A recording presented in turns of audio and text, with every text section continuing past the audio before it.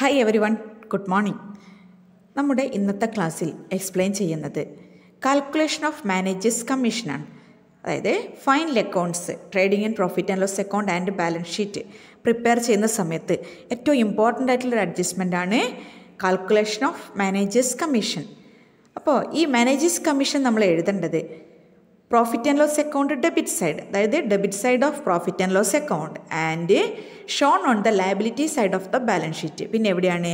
Balance ഷീറ്റിന്റെ liability സൈഡിൽ അതായത് profit and loss account debit സൈഡിലും അതേപോലെ ബാലൻസ് ഷീറ്റ് ലയബിലിറ്റി സൈഡിലാണ് കാണിക്കേണ്ടത്. പിന്നെ മാനേജേഴ്സ് കമ്മീഷൻ എന്ന് പറയുന്നത് നെറ്റ് പ്രോഫിറ്റിന്റെ ഒരു ഫിക്സഡ് പെർസെന്റേജ് ആണ് മാനേജേഴ്സ് കമ്മീഷൻ കാൽക്കുലേറ്റ് ചെയ്യുക. അപ്പോൾ ഈ നെറ്റ് പ്രോഫിറ്റിന്റെ ഫിക്സഡ് പെർസെന്റേജ് എന്ന് പറയുന്ന സമയത്ത് ഈ നെറ്റ് പ്രോഫിറ്റ് നമുക്ക് രണ്ട് രീതിയിൽ തരാം.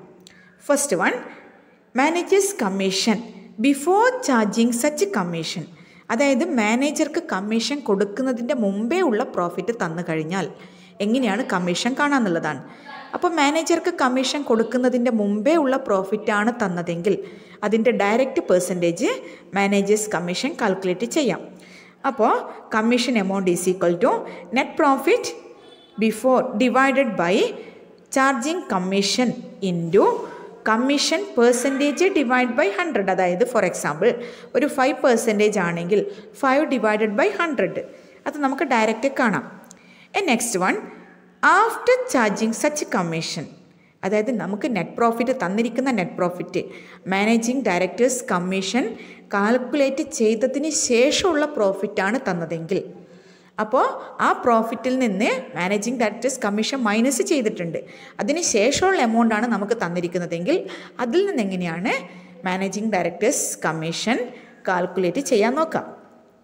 അപ്പോൾ എന്താണ്? Commission amount is equal to net profit before divided by charging commission into percentage of commission divided by hundred plus rate of commission for example നമ്മൾ നേരത്തെ പറഞ്ഞതുപോലെ ഫൈവ് പെർസെന്റേജ് ആണ് കമ്മീഷനെങ്കിൽ five divide by hundred plus rate അപ്പോൾ five divide by hundred plus five that is five divided by one naught five ഈ രീതിയിലാണ് വരിക.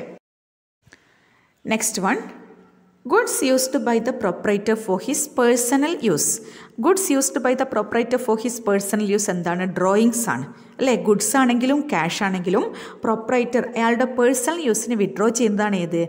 Drawings അപ്പോൾ ഇങ്ങനെ ഡ്രോയിങ്സ് ഉണ്ടാവുകയാണെങ്കിൽ എന്താണ്? നമ്മൾ വാങ്ങിയ ഗുഡ്സിൽ നിന്നാണ് വിഡ്രോ ചെയ്യുന്നത്. അപ്പോൾ വാങ്ങുമ്പോൾ എന്താണ്? പർച്ചേസ് എന്നല്ലേ കാണിക്കുക? പർച്ചേസിന് എപ്പോഴും എന്തേ ഉണ്ടാവും? ഡെബിറ്റ് ബാലൻസ് മാത്രമേ ഉണ്ടാവും. ആ പർച്ചേസിൽ നിന്നാണ് പേഴ്സണൽ യൂസിന് ഗുഡ്സ് വിഡ്രോ ചെയ്യുന്ന സമയത്ത് എന്ത് ചെയ്യുന്നത്?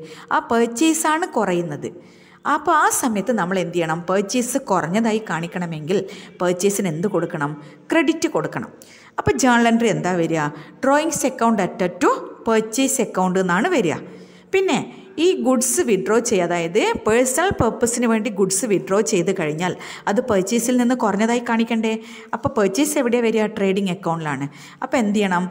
ആ ഡ്രോയിങ്സ് അതായത് ഗുഡ്സ് എന്ത് ചെയ്യണം? Deducted from purchase on the debit side of trading account trading അക്കൗണ്ടിൽ പർച്ചേസിൽ നിന്ന് മൈനസ് ചെയ്ത് കാണിക്കണം. പിന്നെ അതെവിടെ കാണിക്കണം? Amount of drawing should be deducted from capital on the balance sheet അല്ലേ? Liability side of the balance sheet balance ഷീറ്റിന്റെ ലയബിലിറ്റി സൈഡിൽ ക്യാപിറ്റൽ നിന്ന് ഡിഡക്റ്റ് ചെയ്യുന്നതായി കാണിക്കണം. അപ്പോൾ ഈ രണ്ട് സ്ഥലത്താണ് ഗുഡ്സ് ഒരു പ്രൊപ്പറേറ്റർ അയാളുടെ പേഴ്സണൽ യൂസിന് വിഡ്രോ ചെയ്ത് കഴിഞ്ഞാൽ ഗുഡ്സാണ് വിഡ്രോ ചെയ്യുന്നതെങ്കിൽ പർച്ചേസിൽ നിന്ന് കുറഞ്ഞതായി കാണിക്കണം. ട്രേഡിംഗ് അക്കൗണ്ടിലാണ് പർച്ചേസ് വരിക. ബാലൻസ് ഷീറ്റിൽ ലയബിലിറ്റി സൈഡിൽ ക്യാപിറ്റൽ നിന്ന് മൈനസ് ചെയ്യുന്നതായിട്ട് കാണിക്കണം. Next one goods distributed as free samples അതായത് ഗുഡ്സ് ഫ്രീ ആയി കൊടുക്കുന്നതാണെങ്കിൽ ഫ്രീ സാമ്പിളിന് വേണ്ടി ഗുഡ്സ് കൊടുക്കുന്നതാണെങ്കിൽ അപ്പോൾ എന്തിനു വേണ്ടിയാണ് ഈ ഫ്രീ സാമ്പിൾ കൊടുക്കുക? സെയിൽസ് ഇൻക്രീസ് ചെയ്യിക്കാൻ വേണ്ടിയാണ് സെയിൽസ് വർദ്ധിപ്പിക്കാൻ വേണ്ടിയാണ് അല്ലേ? ടു പ്രൊമോട്ട് സെയിൽസ് ആണ്. അപ്പോൾ അങ്ങനെ ഡിസ്ട്രിബ്യൂട്ട് ചെയ്യുന്ന സമയത്ത് ജേണൽ എൻട്രി എന്താ വരിക? അത് എന്തിനു വേണ്ടിയാണ് സെയിൽസ് ഇൻക്രീസ് ചെയ്യുന്നത് കൊണ്ട് അത് നമ്മൾ അഡ്വർടൈസ്മെന്റ് ആയിട്ടാണ് കണക്കാക്കുന്നത്. അപ്പോൾ ജേണൽ എൻട്രി എന്താ വരിക? അഡ്വർടൈസ്മെന്റ് അക്കൗണ്ട് അറ്റർ ടു ട്രേഡിംഗ് അക്കൗണ്ട് എന്നാണ് ജേണൽ എൻട്രി എഴുതുക. അപ്പോൾ സെയിൽസ് സാധാരണഗതിയിൽ എവിടെയാണ് കാണിക്കുക? ട്രേഡിംഗ് അക്കൗണ്ടിന്റെ ക്രെഡിറ്റ് സൈഡിലാണല്ലോ സെയിൽസ് വരിക. അതേപോലെ ഫ്രീ സാമ്പിളായി ഡിസ്ട്രിബ്യൂട്ട് ചെയ്യുന്ന സമയത്ത് goods distributed as free samples എന്ന രീതിയിൽ നമ്മളിവിടെ കൊടുക്കണം. ട്രേഡിംഗ് അക്കൗണ്ടിന്റെ ക്രെഡിറ്റ് സൈഡ് കൊടുക്കണം. അപ്പോൾ അത് സെയിൽസ് പോലെ തന്നെയാണ് ഫ്രീ സാമ്പിളായി കൊടുക്കുന്നതെന്നേ ഉള്ളൂ. അപ്പോൾ ഇവിടെ തന്നെയാണ് കൊടുക്കേണ്ടത്? ട്രേഡിംഗ് അക്കൗണ്ടിന്റെ ക്രെഡിറ്റ് സൈഡിൽ അതേപോലെ പിന്നെ അതെന്താണ്? നമ്മളുടെ അഡ്വർടൈസ്മെന്റിനല്ലേ കൊടുക്കുന്നത്? അതായത് പരസ്യത്തിന് വേണ്ടി കൊടുക്കുന്നതെന്ന് കരുതുക. അപ്പോൾ അഡ്വർടൈസ്മെന്റ് എന്താണ്? എക്സ്പെൻസ് ആണ്. അതുകൊണ്ട് അതെവിടെ വരും? പ്രോഫിറ്റ് ആൻഡ് ലോസ് അക്കൗണ്ടിന്റെ ഡെബിറ്റ് സൈഡിൽ അപ്പോൾ goods distributed as free sample എവിടെയാണ് കൊടുക്കേണ്ടത്? ഫസ്റ്റ് അത് ട്രേഡിംഗ് അക്കൗണ്ട് ക്രെഡിറ്റ് സൈഡ് കൊടുക്കുക. പിന്നെ profit and loss account debit സൈഡിൽ അഡ്വർടൈസ്മെന്റ് എക്സ്പെൻസ് എന്നുള്ള രീതിയിൽ ബ്രാക്കറ്റിൽ കൊടുത്താൽ മതി. Goods distributed as free samples തന്നെ കൊടുക്കാം. പ്രോഫിറ്റ് ആൻഡ് ലോസ് അക്കൗണ്ടിന്റെ ഡെബിറ്റ് സൈഡിൽ കൊടുക്കുക.